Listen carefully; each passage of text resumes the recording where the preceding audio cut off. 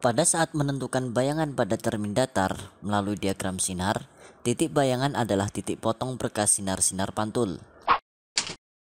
Untuk melukis pembentukan bayangan pada cermin datar dengan diagram sinar, ikutilah langkah-langkah berikut ini. Yang pertama, lukis sebuah sinar dari benda menuju cermin dan dipantulkan ke mata. Sesuai hukum pemantulan cahaya, yaitu sudut sinar datang sama dengan sudut sinar pantul. Langkah kedua, lukis sinar kedua sebagaimana langkah pertama. Langkah ketiga, lukis perpanjangan sinar-sinar pantul tersebut di belakang cermin sehingga berpotongan. Perpotongan sinar-sinar pantul tersebut merupakan bayangan benda. Langkah keempat, jika diukur dari cermin, jarak benda terhadap cermin harus sama dengan jarak bayangan terhadap cermin. Atau S0 sama dengan S aksen.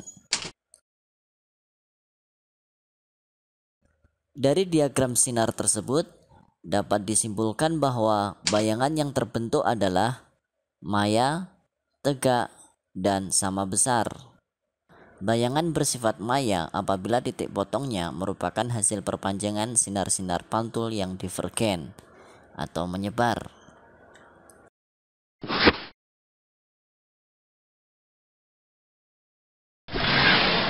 Pernahkah kamu mengamati kaca spion yang dipasang di kendaraan? Kaca yang dipasang pada spion adalah contoh dari cermin lengkung. Cermin lengkung adalah cermin yang permukaannya melengkung. Ada dua jenis cermin lengkung, yaitu cermin silinder dan cermin bola. Kali ini, kamu hanya akan mempelajari cermin bola. Kelengkungannya merupakan bagian dari kelengkungan bola khususnya tentang cermin cekung dan cermin cembung. Cermin cekung dan cermin cembung irisan permukaannya berbentuk bola. Cermin yang irisan permukaan bola bagian mengkilapnya terdapat di luar disebut cermin cembung.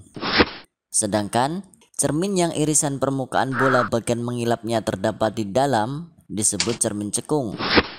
Agar dapat memahami unsur-unsur pada cermin cekung dan cembung, perhatikan gambar berikut. Berdasarkan gambar tersebut, maka kita dapat menentukan unsur-unsur cermin lengkung, yaitu sebagai berikut. Yang pertama, pusat kelengkungan cermin. Pusat kelengkungan cermin merupakan titik di pusat bola yang diiris menjadi cermin. Pusat kelengkungan cermin biasanya disimbolkan dengan M. Yang kedua, vertex. Vertex merupakan titik di permukaan cermin di mana sumbu utama bertemu dengan cermin dan disimbolkan dengan O.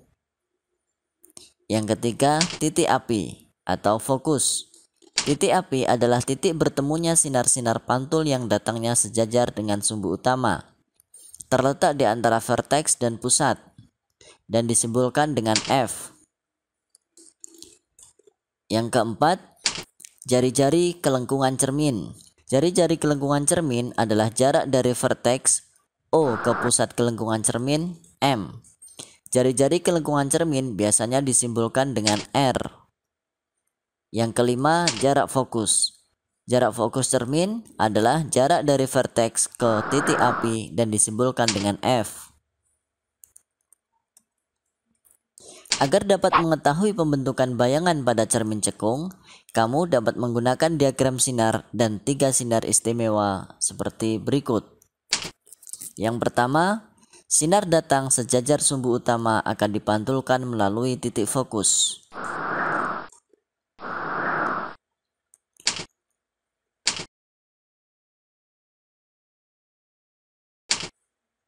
Yang kedua, sinar datang melalui titik fokus akan dipantulkan sejajar sumbu utama.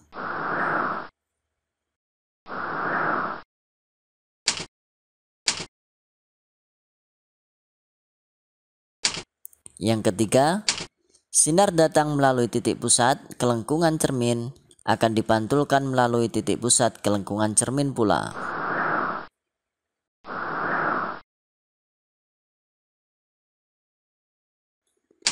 Selanjutnya, bagaimana cara melukis pembentukan bayangan oleh cermin cekung jika benda berada pada jarak lebih dari R? Untuk melukis bayangan pada cermin cekung, diperlukan minimal dua buah sinar istimewa. Tetapi, Hasil akan lebih baik dan meyakinkan jika dilukis dengan tiga sinar istimewa sekaligus dengan langkah-langkah sebagai berikut.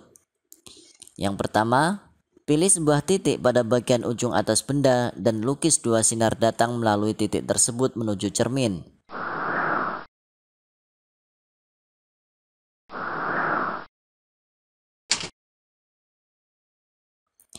Setelah sinar-sinar datang tersebut mengenai cermin, Pantulkan kedua sinar tersebut sesuai kaidah sinar istimewa cermin cekung.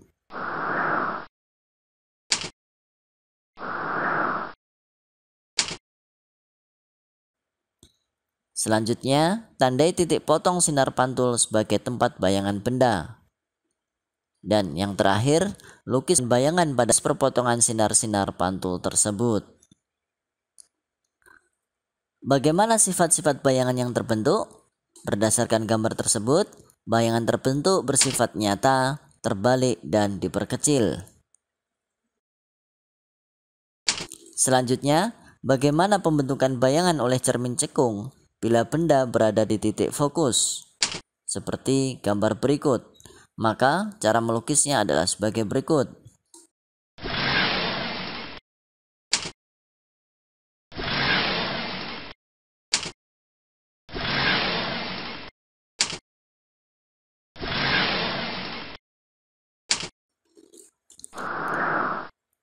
Di manakah letak bayangan yang terbentuk? Berdasarkan gambar tersebut, tidak terbentuk bayangan atau bayangan terletak di tempat yang jauh tak terhingga karena tidak terdapat titik potong. Selanjutnya, bagaimana melukis pembentukan bayangan oleh cermin cekung jika benda berada di antara cermin dan F, seperti gambar berikut. Maka, cara melukisnya adalah sebagai berikut.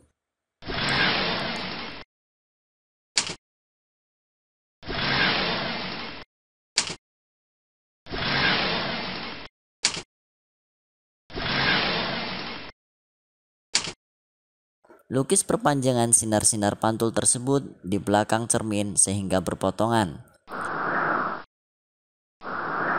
Perpotongan sinar-sinar pantul tersebut merupakan bayangan benda. Bagaimana sifat bayangan yang terbentuk? Berdasarkan gambar tersebut, bayangan yang terbentuk bersifat maya, tegak, dan diperbesar. Selain penggunaan diagram sinar dan tiga sinar istimewa, agar lebih mudah memahami letak benda dan letak bayangan, kamu dapat memahami pembagian nomor ruang pada cermin lengkung atau dikenal dengan dalil isbah. Pembagian nomor ruang pada cermin cekung dapat dilihat pada gambar berikut. Ini adalah ruang 1, kemudian ruang 2, ruang 3, dan ruang 4. Misalnya benda diletakkan pada jarak lebih dari M atau berada pada ruang 3, bayangan yang terbentuk akan berada pada jarak antara F dan M atau berada pada ruang 2.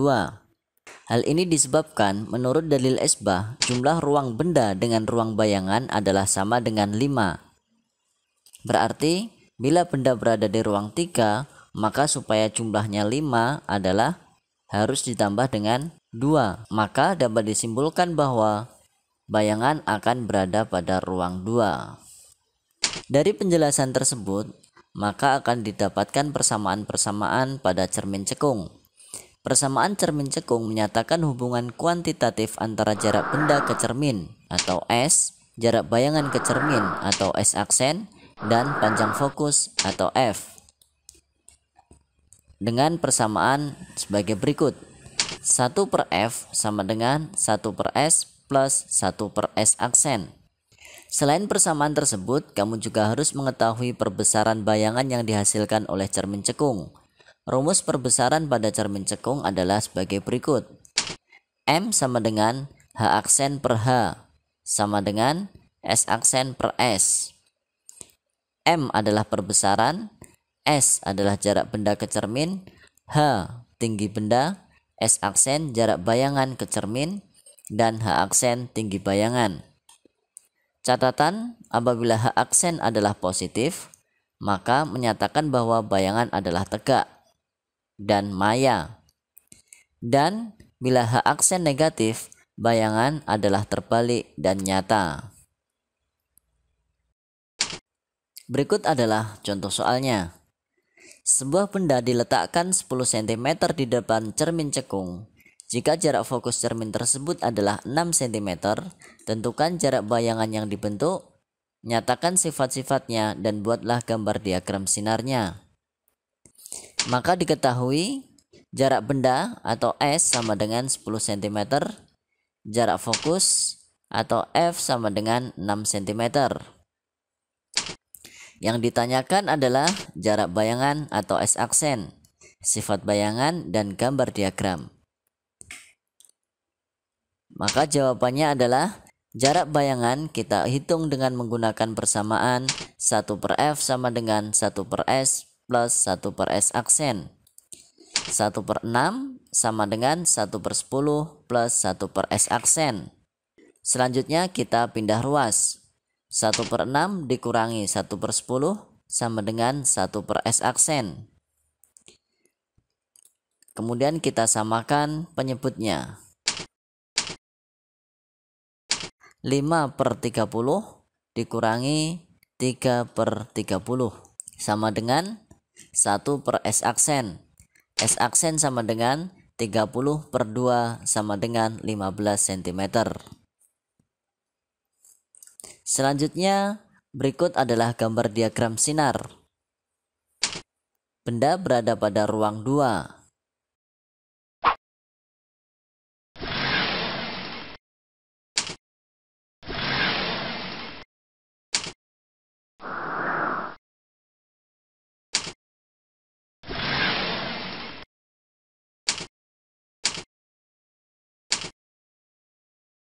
Berdasarkan hasil perhitungan dan diagram sinar, maka bayangan yang diperoleh bersifat nyata karena bayangan berada di depan cermin cekung, terbalik, dan diperbesar.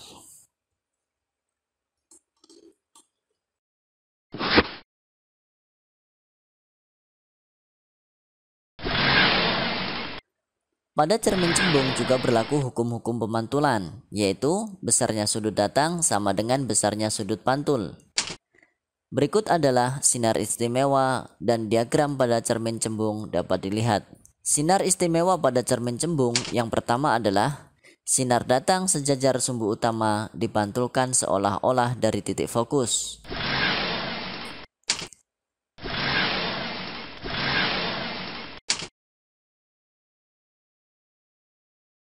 Yang kedua, sinar datang menuju titik fokus dipantulkan sejajar sumbu utama.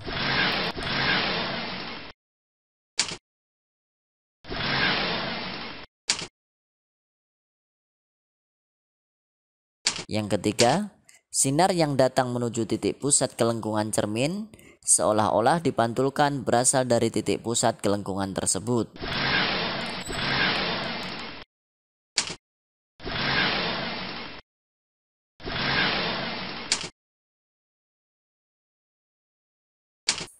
Untuk melukis bayangan pada cermin cembung dibutuhkan minimal dua buah sinar istimewa dengan langkah-langkah sebagai berikut.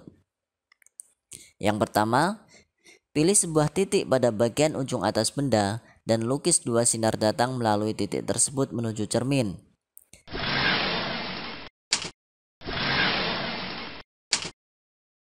Yang kedua, setelah sinar-sinar datang tersebut mengenai cermin, Pantulkan kedua sinar tersebut sesuai kaidah sinar istimewa pada cermin cembung.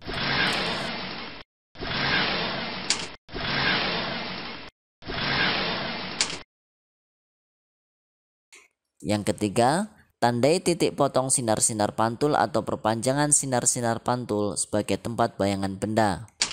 Yang keempat, lukis bayangan benda pada perpotongan perpanjangan sinar-sinar pantul tersebut. Berdasarkan diagram tersebut, jika benda diletakkan di depan cermin cembung, maka bayangan yang terbentuk akan bersifat maya, tegak, dan diperkecil. Selanjutnya adalah persamaan yang terdapat pada cermin cembung. Rumus-rumus yang berlaku pada cermin cekung juga berlaku untuk cermin cembung. Namun, ada hal yang perlu diperhatikan yaitu titik fokus dan titik pusat kelengkungan cermin M Untuk cermin cembung terletak di belakang cermin. Oleh karena itu, dalam menggunakan persamaan cermin cembung, jarak fokus F dan jari-jari cermin R selalu dimasukkan bertanda negatif. Untuk lebih jelasnya, perhatikan contoh berikut. Sebuah cermin cembung memiliki jari-jari kelengkungan 30 cm. Jika benda diletakkan pada jarak 10 cm di depan cermin cembung, tentukan jarak bayangan yang dibentuknya. Nyatakan sifat-sifatnya dan buatlah gambar diagram sinar. Diketahui jarak benda atau S sama dengan 10 cm, yaitu berada di ruang 1. Jarak fokus cermin atau F sama dengan 1 per 2 jari-jari kelengkungan sama dengan 1 per 2 kali 30 cm sama dengan 15 cm. Yang ditanyakan adalah jarak bayangan, sifat bayangan, dan gambar diagram sinar. Kemudian jawabannya adalah kita tentukan dulu jarak bayangan dengan menggunakan rumus 1 per F sama dengan 1 per S tambah 1 per S aksen. 1 per negatif 15 sama dengan 1 per 10 tambah 1 per S aksen. Negatif 15 menunjukkan bahwa ini adalah cermin cembung. Selanjutnya kita pindah ruas 1 per negatif 15 dikurangi 1 per 10 sama dengan 1 per S aksen. Kemudian kita samakan penyebutnya menjadi per 30. Sehingga hasilnya adalah negatif 2 per 30 dikurangi 3 per 30 sama dengan 1 per S aksen. Negatif 5 per 30 sama dengan 1 per S aksen. Jadi S aksen sama dengan 30 per negatif 5 yaitu sama dengan negatif 6 cm. Berikut adalah gambar diagram sinarnya.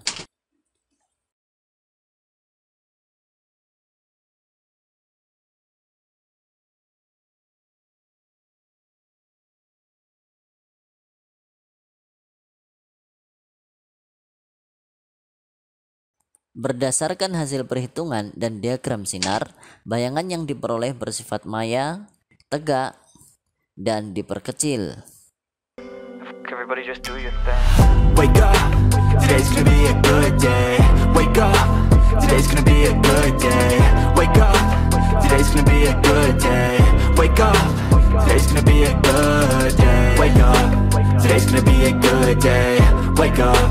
Today's gonna be a good day. Wake up. Today's gonna be